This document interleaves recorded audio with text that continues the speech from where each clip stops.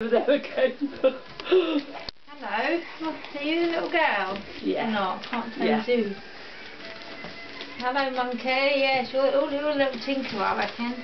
you see, those two are up and here I am, which is what you want if you're going to be out there showing. And that. Hello. Hello, hello, hello.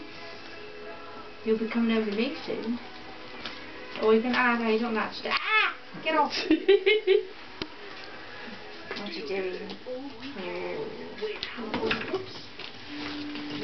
bad to me, sort of strangle me. Oh, you waking up now? Oh, it's hard life with a little puppy, isn't it? Hey, it's hard life.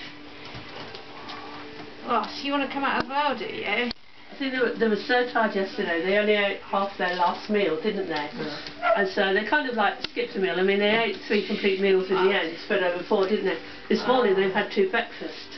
It's like, oh, we missed out yesterday. Missed out yesterday. Yeah. So They've already had their milk and everything, where they? you're the little girl, you've got a bit more of a smaller face. Yeah. We noticed, you can tell, can't the face is a bit smaller. She's she's quite pretty, sort of feminine. Yeah, she's she's got more of a smaller. Smaller Yeah. face. You hungry?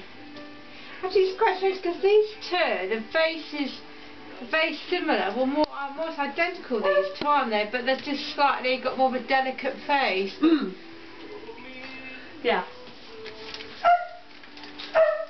We both got a little chew now, are you? All right then. What? Do you like a tea or a coffee, Debbie? Have a coffee, Coffee? please.